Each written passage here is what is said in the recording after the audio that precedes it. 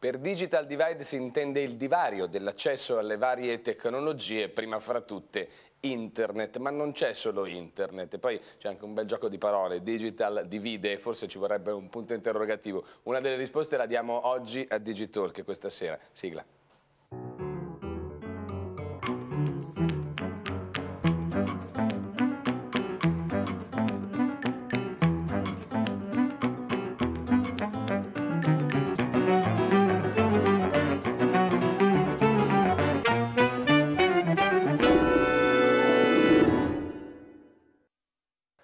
Martedì sera, grazie di essere con noi qui a Digitalk. Come sapete è il primo talk show quotidiano sull'universo digitale. Eh? Allora chi ci, ha, ci, guarda spesso già sa che ormai è un tormentone a cui non si può rinunciare. Oggi si parla di, di digital divide, come dicevamo nell'intro, ovvero eh, tutto quel divario che non è solo tecnologico ma culturale che eh, distanzia in sostanza le persone dalle tecnologie. E andiamo proprio a conoscere questo spazio, che cosa c'è in mezzo, quanto ce n'è e scopriremo anche che mm, serve che ce ne sia il meno possibile. Oggi lo facciamo con chi ci può aiutare a capire bene di che divario si tratta e a che punto siamo, insomma, lo stato delle cose. E lo facciamo con Fabio Spagnuolo, che è responsabile della provincia di Milano Anti-Digital Divide e che è già stato con noi nella puntata sulla banda larga, dove ci ha parlato già di divario digitale, tra l'altro spunto per cui abbiamo deciso di fare una puntata dedicata proprio al Digital Divide.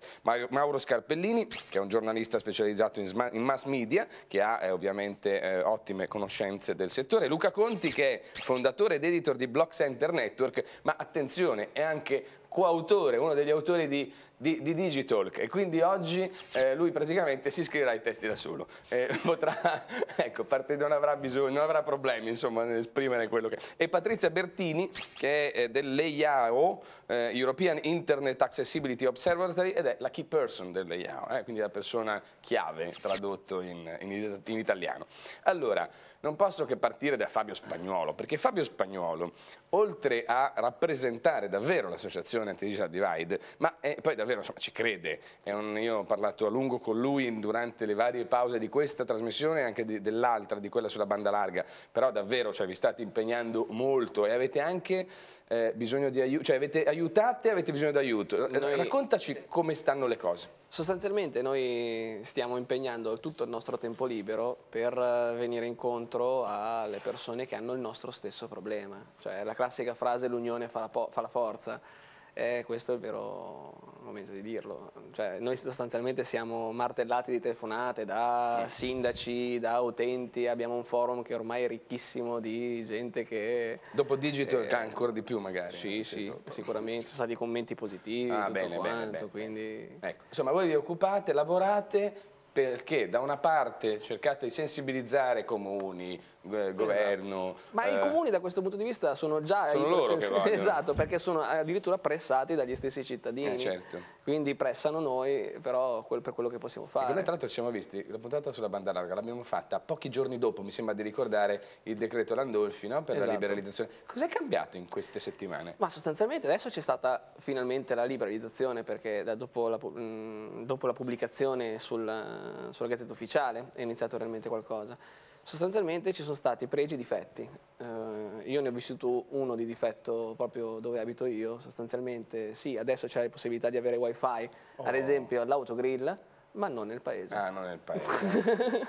Quindi è, è la classica cosa che... Eh, Vabbè, però insomma ci siamo quasi, no?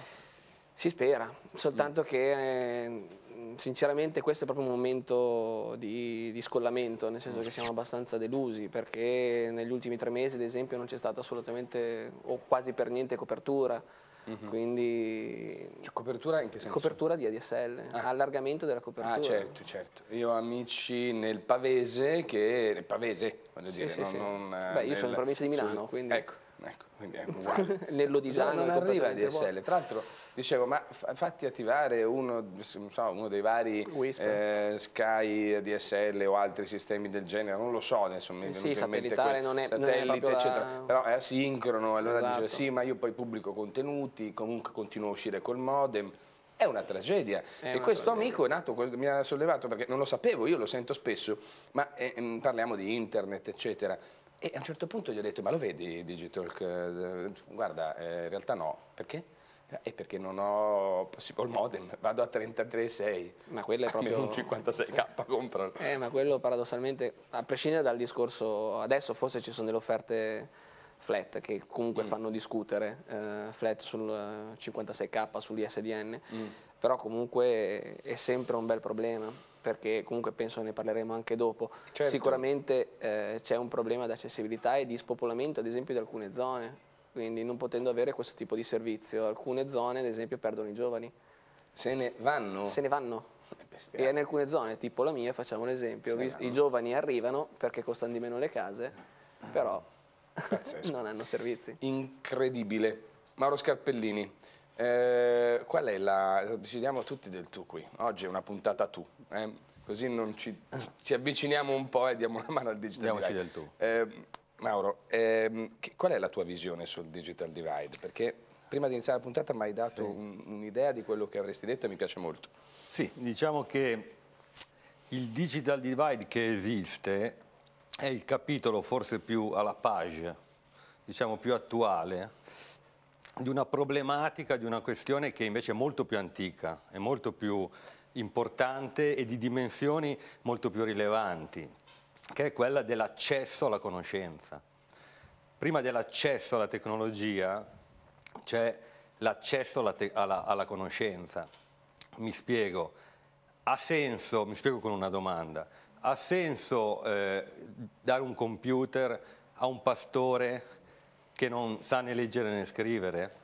Una domanda che rivolgo mm-hmm. anche ai miei Beh, colleghi una domanda che è molto interessante, adesso non ti voglio interrompere, sì, ti sì, faccio sì. finire come, ma poi tra l'altro si, si parlerà del computer a 100 dollari di Negroponte e forse su quella è una domanda molto adatta, no? quel tipo di computer. Allora, se noi impostiamo il problema in questa prospettiva, il digital divide non è una eh, issue che divide, che, che contempla divisione fra nord e sud, che coinvolge il nord e il sud del mondo, come comunemente si dice, ma all'interno della stessa Italia, che è considerato un paese postmoderno, post-industriale, comunque fra le prime dieci economie del mondo, esiste questa discrimine. In Italia solo 6 milioni di persone leggono i quotidiani. C'è un analfabetismo di ritorno che è impressionante. Allora, capite bene che già solo nel nostro paese parlare di digital divide significa, alla, ripercorrendo la catena no? di ragionamento, arrivare a dire alle persone leggete dei libri e poi aprite il computer, ma prima cercate di avere una scolarità di base che sia rilevante e poi aprite anche il computer, è evidente. Molto bello quello che stai dicendo, certo è che per, eh, forse non è colpa solo di chi, cioè voglio dire, no, è colpa a volte anche di una struttura, di, di, di, di anni, non sì, è solo sì. colpa di chi poverino non sa leggere, insomma, no, no è difficile. Se io ho dato questa impressione no, ho, ho, ho, comunicato male, evidentemente non è colpa di chi no, voglio dire, non dire perché non leggete a quelli che non leggono è difficile che inizino no, a leggere no, per certo, questo. Evidentemente il, il, questo era uno slogan, eh, come dire, una piccola provocazione, un, un, eh, una parola d'ordine buttata lì solo per sintetizzare e, e dare, ecco, sottolineare no, no, avevo capito perfettamente, Poi è evidente che dietro c'è un problema di, di, scelte politiche governative, di distribuzione delle risorse, esatto. è un problema immenso esatto, dove, questo. faccio un esempio, se solo oggi il governo, di destra e di sinistra non importa, facesse la scelta di eh, eh, lavorare per ridurre a questo gap della conoscenza fra i cittadini e fra il nord e il sud del paese ci vorrebbero penso 10, solo 10-15 anni. Certo. Tempo, Beh, ad esempio, che... il, prescindere appunto anche qui da destra a sinistra, però è l'unico ministero perché non c'era prima sì. dell'innovazione tecnologica di Stanca, beh loro si sono concentrati molto, no? cioè il ministro si è concentrato molto, sul, molto attento sul divario digitale e sul risolvere i problemi. Sì, adesso non vorrei passare per eh, parlare mai del governo Berlusconi per l'amor di Dio, ma è evidente che rispetto al, alle parole d'ordine, chiamiamole così, no? pronunciate in campagna elettorale, le famose 3I, 3E, no?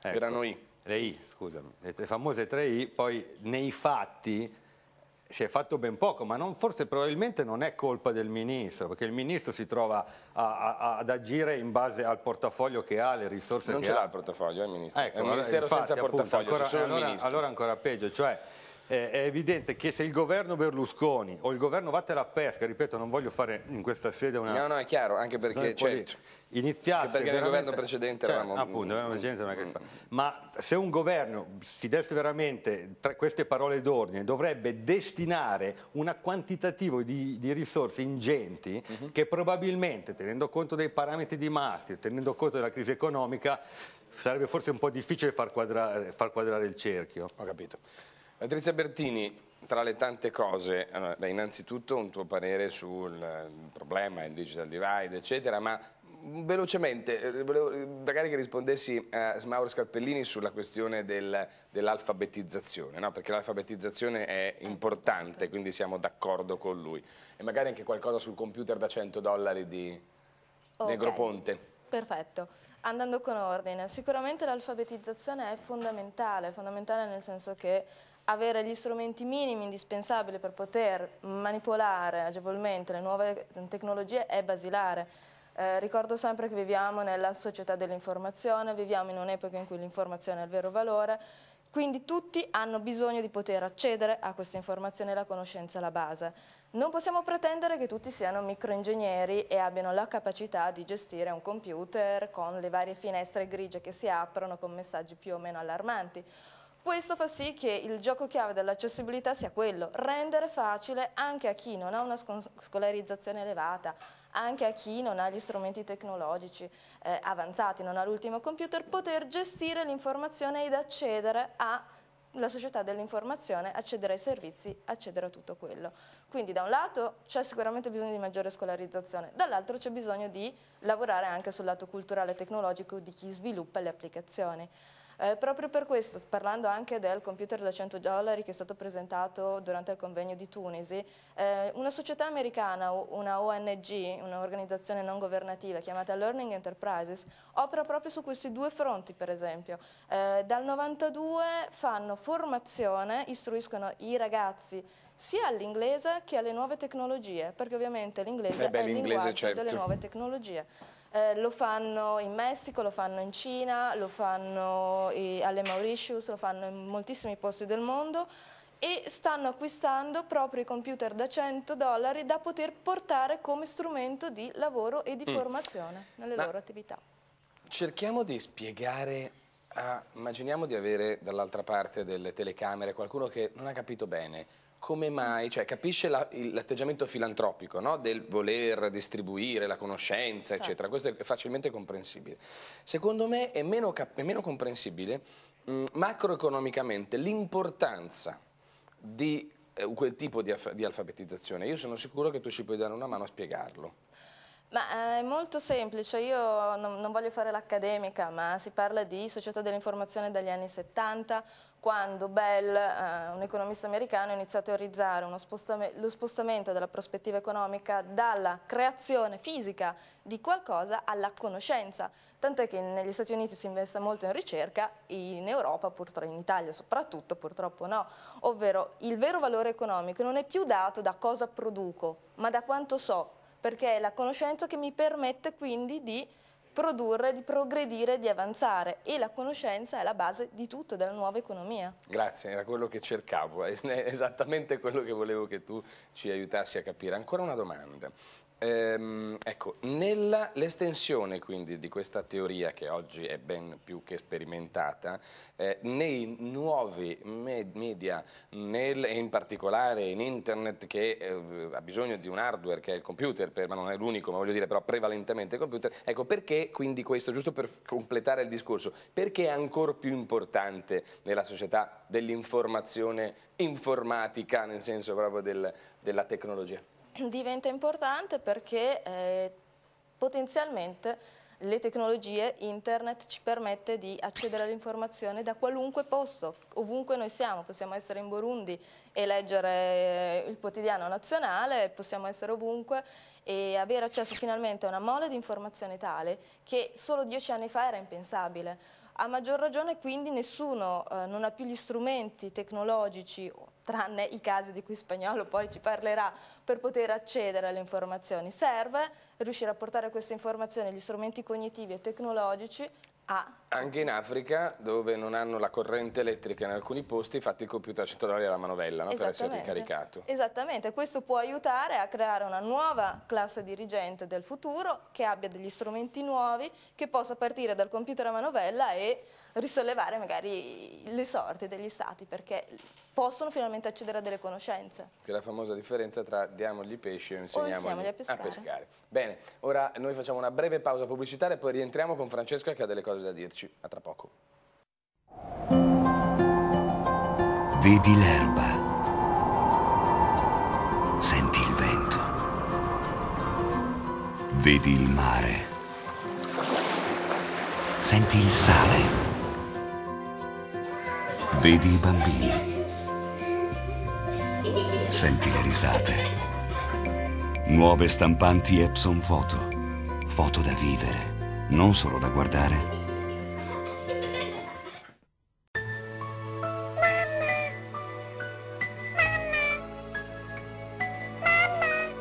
Vieni, guarda, parla già. È iniziata una nuova era.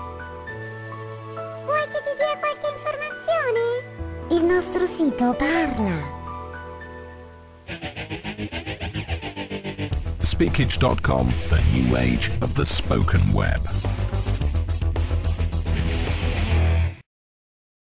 Grazie di essere ancora con noi, come promesso Francesca ora ci darà qualche informazione e qualche curiosità. Francesca. Sì Marco, ho trovato che secondo i dati dell'Unione Europea l'Italia è al tredicesimo posto in Europa per la copertura della rete a banda nel- per, scusa, per la copertura delle aree rurali con collegamenti a banda larga. Tra l'altro che è generalmente inferiore al 40% della popolazione residente in queste aree.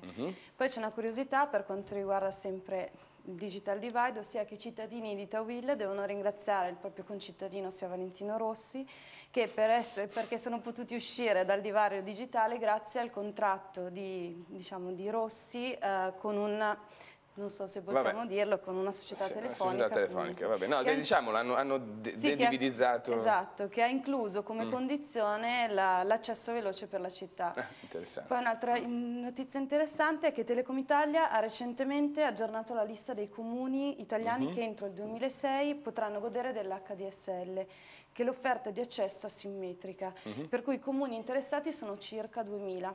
Questo fa ben sperare. Quanti sono spagnoli a 2000 comuni? Pochi. Bene.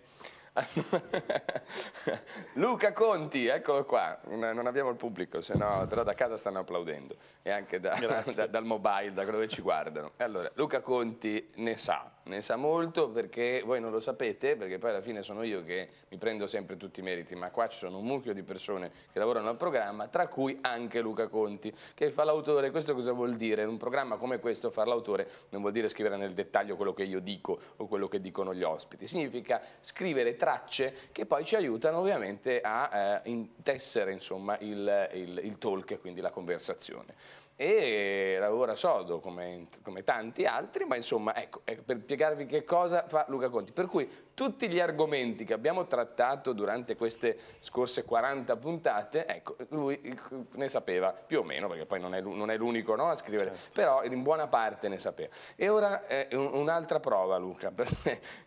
Digital Divide, dici che cosa ne pensi? Il digital divide è un problema che riguarda noi cittadini italiani che magari non abbiamo il collegamento ADSL che ci può servire per usufruire di tanti servizi e magari anche di lavorare su internet con le nuove professioni di cui tratteremo in una prossima puntata. Però è un problema globale. cioè, qualche numero che è venuto fuori dal, dal recente summit eh, di Tunisi è impressionante. 40 paesi africani hanno come banda in uscita per collegare tutto il paese ad internet 10 megabit al secondo, quello che un utente con la fibra ottica in Italia può avere dalla sua utenza privata. E tutto il, il Giappone ha la banda per collegarsi quanto tutta l'Africa intera. Questo è, è significativo di come ancora, nonostante siamo nel terzo millennio, nonostante c'è quasi un miliardo di, di- di cittadini del, del- del pianeta Terra che sono collegati a internet, però molta strada ancora c'è da fare. Oggi non ti sei connesso tanto a internet perché sei venuto qua e per questo sei stato poco attento. La puntata sull'informazione è domani. No, scherzo. Quella ovvio. sulle nuove professioni. Quella sulle nuove professioni, no. Ah, hai detto quella sulle nuove professioni? Mannaggia, sono diviso io allora. Mamma mia. Senti Luca, allora, beh, certo, certo, è così ed è un grave problema. Io è inutile che continui a guardare, io guardo sempre spagnolo perché lui annuisce ogni volta disperato su questa situazione. Ecco, ma, ma perché? La domanda è banale, eh, ma perché è così difficile, sempre la domandina quella che uno magari non ha capito bene, portare la banda larga? Cioè uno dice, bene, la- il mercato si fonda, no? si basa sull'offerta, la domanda, eh, eh, la- ecco, ma quindi la, la domanda c'è, perché la domanda, miseria, la gente lo vuole, allora come mai il mercato non riesce a stare dietro alla domanda? Cosa è successo? Cosa sta succedendo? Lo chiedo ancora a Luca Conti. È un problema di, di considerare l'accesso a internet come un servizio universale, perché se noi consideriamo avere la possibilità di collegarsi a internet, quindi per telefonare, per divertirci, ma anche per lavorare, perché anch'io sono un esempio in questo senso, perché ho, ho- ho lavorato negli scorsi mesi per Google grazie al collegamento a internet, che era uno dei requisiti necessari per poter eh, accedere a, questo- a questa posizione, per cui chi non ha il collegamento a internet veloce non, può- non poteva poter partecipare a, a quella... Ecco, la domanda in realtà era come mai, magari la faccio a spagnolo, però mi hai sollevato un'altra cosa a proposito di visione. Io quando sono salito negli studi oggi, Luca era già qua. Io, eh, noi lavoriamo da tempo insieme, perché da tempo, in tempo televisivo ovviamente, quindi da qualche mese che però sono tanti perché abbiamo fatto tutte queste puntate. E io non lo conoscevo, avevo visto una volta il suo viso in, una- in un videocast che aveva mandato, però poi non lo conoscevo. E quindi pensavo che un ospite si fosse infiltrato e fosse salito, no? Eh, oltre le nostre, perché qui siamo all'ultimo piano, quindi oltre le nostre regole normali. Allora detto, sono andato in produzione e ho detto ragazzi qua c'è un ospite su che sta girando nello studio. Dice, ma chi? Ma sì, ma gli occhiali, eccetera. Ma è Luca Conti. Oh miseria, Luca Conti. Adesso glielo devo dire che non l'ho riconosciuto. Ecco, questo per dire che effettivamente è vero, cioè eh, noi abbiamo lavorato a distanza senza, nea- senza, ecco, senza internet, senza la possibilità di sarebbe connettersi. stato possibile. Non sarebbe stato possibile, ma non solo, visto che parliamo di digital divide, anche di digital divide inteso come banda passante a disposizione, se non avessimo avuto la banda che tu hai dove abiti e io che Certo, ho non a potuto Milano, lavorare. insomma non avremmo potuto perché il video non potevano inviartelo, perché eccetera eccetera. Ecco, ma perché è così difficile la domanda di prima? Distribuirla, come mai non si riesce ad arrivare? Ma il difficile è sostanzialmente questo, nel senso, nell'altra puntata dove si parlava di banda larga, Sì. ne aveva accennato Gio Marino, Sì. Eh, sostanzialmente il problema grosso è portare della fibra o comunque della banda fisicamente nelle, nelle centrali telefoniche di Mm. ogni paese e poi ridistribuirle. Sì. Ha un costo. Questo Eh. costo ovviamente deve rientrare ovviamente con eh, la gente che paga questo servizio.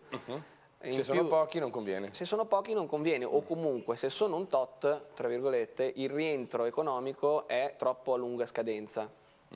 Eh, il, il troppo, tra virgolette, è relativo, nel senso che per eh, alcuni, eh, alcune società è troppo. Poi facendo dei calcoli fisicamente in realtà non è poi così tanto perché l'ammortamento in alcuni casi addirittura avviene in uno o due anni, a dir tanto che una società privata tendenzialmente potrebbe anche benissimo affrontare e avere un parco clienti anche superiore, soltanto che ci sono già dei problemi di eh, deficit di queste società Mm, E quindi, e quindi di conseguenza non si può aumentare questo deficit. ho capito. In più c'è anche... Questo è il problema. Beh, ma quindi come risolvere, insomma, visto che le aziende non possiamo mica... Il discorso esempio ad esempio sì. la- l'apertura del wifi poteva essere una possibilità al posto di scavare portare via wireless direttamente Esatto. queste cose. Soltanto che ancora nulla si muove. Eh, ci vuole il, il Cioè, nulla si muove, eh, spiegami perché, nulla si muove per, per- in realtà è, state- è stato liberalizzato il WiMAX, no? Poi alla fine. Sì, però un po' il WiMAX nel senso che, no, no, aspetta, tecnicamente sì, ma è il WiMAX nel senso che l'utente non può ridistribuire la propria connettività. Quello sì. Questa è, è in questo senso dico è stato liberalizzato il WiMAX, cioè comunque centra- è centralizzata la possibilità di distribuire, no? Sì, comunque bisogna fare una- l'apertura di una società. Di una società, cioè, fare- altrimenti non- non è giu- possibile. ma quello è- da questo punto di vista è anche giusto. Mm. Il problema è che ad esempio molte società si eh, crogiolano negli allori sostanzialmente Mm. e rivendono dei prodotti che la società ex monopolista, che in realtà eh, è stata dichiarata poco tempo fa da, dall'Agicom, monopolista al 100% per quello che riguarda eh, il doppino telefonico, cioè il, il rame che arriva proprio Sì. fisicamente a casa. C'è Eh, stata una polemica no? con Prodi. Ultimamente c'è stata ah, proprio una polemica, lì soprattutto per quello che riguarda le garanzie, e non soltanto eh, riguardante la monopolista sulla telefonia, un po' in generale sulle ex monopoliste. Eh, L'unica ovviamente ha risposto, eh, utilizzando una pagina intera di uno tra i giornali quotidiani nazionali più, più diffusi, è stata che- appunto Telecom Italia. Alcuni, eh, non Telecom Italia, ma alcuni dirigenti, diciamo, Mm. alcuni soci del CDA. Eh, Dicendo che non è vero, che è un Esatto. atteggiamento monopolistico. Secondo te? Ma eh, noi abbiamo espresso anche noi ovviamente la nostra opinione e eh, da questo punto di vista difendiamo ciò che ha detto Prodi, nel senso che noi siamo totalmente apolitici, eh, non, non ci interessa la politica, ci interessa soltanto chi fa le cose. Però eh, Prodi ha toccato un vaso di Pandora che sostanzialmente è il sistema delle garanzie in Italia per quello che riguarda i monopoli o gli ex monopoli, diciamo. Eh, facciamo l'esempio, da quando c'è stata la privatizzazione di Telecom Italia, a conti fatti la maggior parte dei territori, cioè o alcuni, molti territori eh, hanno ancora un unico operatore a disposizione e questo secondo noi è, è- è Ecco, ma possibile, spieghiamo ma per- anche solo di telefonia, non, solo- non si parla solo di DSL. Spieghiamo perché, spieghiamo perché ehm, è importante, cioè rispetto al nostro tema principale. E, mm, Che problemi crea un monopolista?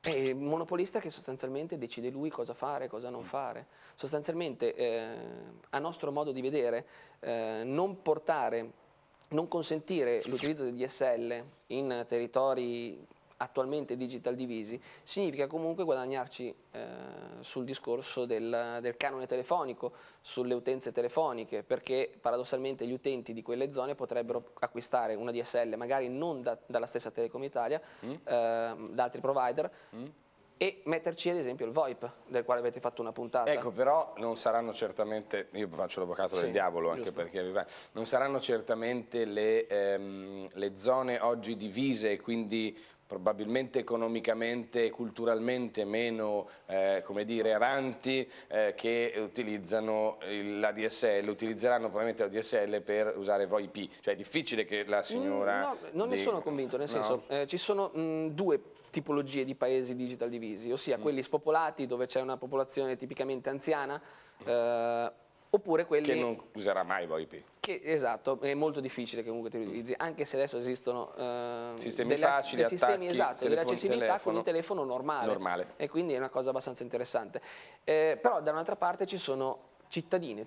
Facciamo l'esempio della mia o in altri di Sì. nostri consociati, di nostri utenti diciamo, del, nostro, del nostro sito, eh, dove la maggior parte della gente sono giovani, sono gente bene o male E quindi mia età. utilizzerebbero, eccetera. Beh, insomma, Esatto. è E solo che- quello il problema. esatto, è solo la paura del VoIP? No. Non- No, forse no. sinceramente non lo so. Eh, una spiegazione univoca non esiste, nel senso che rimane... Però è un problema. Esatto, io continuo a dire che è una tripla, 1x2, Vabbè. quindi... Però vabbè, che voi comunque state cercando. Cosa ne pensi Luca? Ma i paesi, soprattutto del sud del nostro paese, sono quelli insieme anche alle periferie delle grandi città che non hanno ancora la possibilità di godere di questi collegamenti.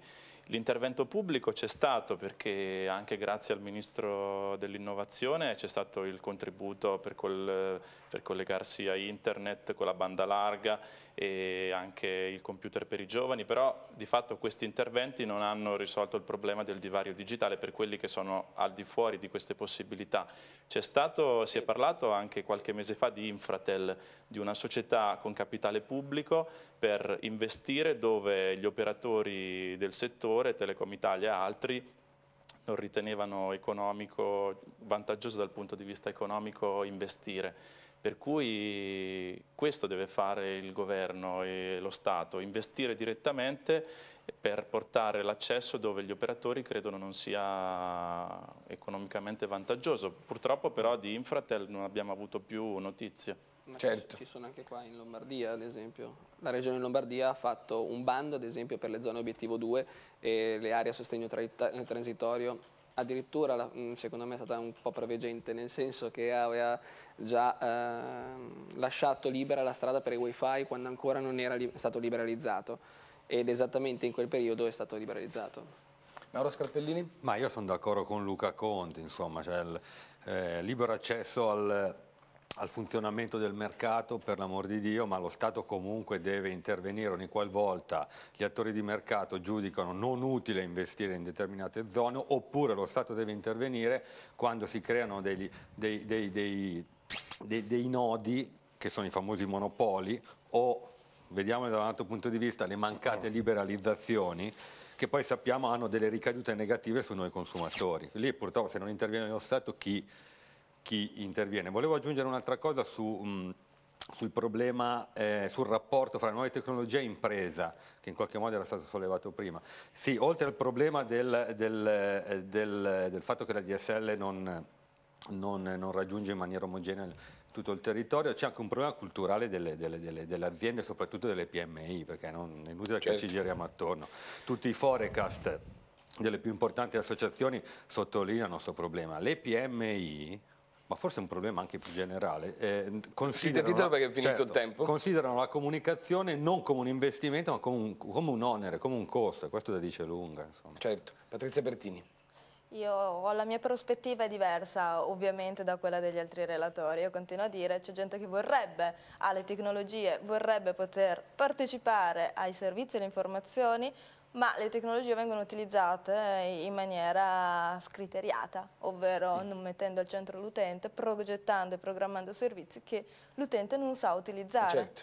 Per cui eh, è bellissimo ed è utilissimo riuscire a portare la banda larga a tutti i cittadini, ma non dimentichiamoci che tra questi cittadini che possono avere e hanno la banda larga c'è una fetta che ha bisogno di un minimo di attenzione in più per non restare digitalmente diviso esattamente come chi non ha la banda larga oggi. Certo, perché ad esempio hanno, eh, Vodafone ha, eh, ha, fatto questo telefonino per, che, che è bellissimo, no? l'ho visto funzionare, è fantastico, al tastone accendi, spegni, spegni. invia, eh, no? con i tasti grossi, il volume altissimo. Esatto. Però è divertente questo. da avere, se non fosse che ho bisogno di un mucchio di altre funzioni lo comprerei.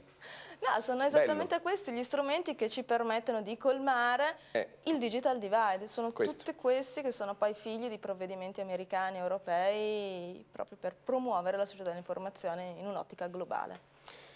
Saluto Fabio Spagnolo, dicendo, stavi dicendo? No, stavo dicendo sostanzialmente, è vero, però eh, sostanzialmente abbiamo sempre visto un'evoluzione che, eh, che la tecnologia sta cercando di venire sempre incontro all'utente. Non sempre succede, però facciamo l'esempio dei PC, prima c'era una, una, shell sostanzialmente DOS, adesso, adesso c'è il mouse e la che... grafica. Grazie Fabio Spagnolo che Grazie ricordo essere responsabile della provincia di Milano dell'anti-digital divide. Grazie anche a Mauro Scarpellini che è un giornalista specializzato, ricordo, in mass media, ma che ci ha anche dato una visione diversa no? sul digital divide molto interessante. Eh, Luca Conti che è autore di Digital, che è fondatore ed editor di Block Center Network e Patrizia Bertini che è delle IAIO, che, IAO, che è questo scioglilingua che ogni volta mi consentirei di sbagliare perché è naturale. Eh, ehm, che è in sostanza l'acronimo di European Internet Accessibility Observatory, che e tu sei la key person. Eh? Mi fa ridere EIA ogni volta perché mi viene in mente Tiziano che è sardo e che qua con la, con la telecamera mi sta inquadrando in questo momento. Quando dico EIA lo vedo sorridere, ma io certo. ringrazio anche Francesca. Io vi saluto, ci vediamo domani con una nuova puntata di Digital, sempre alle 23 e sempre sul sito digitalk.tv. In replica ogni mattina alle 8.25 su ETV, canale 817 di Sky. Arrivederci, buona serata.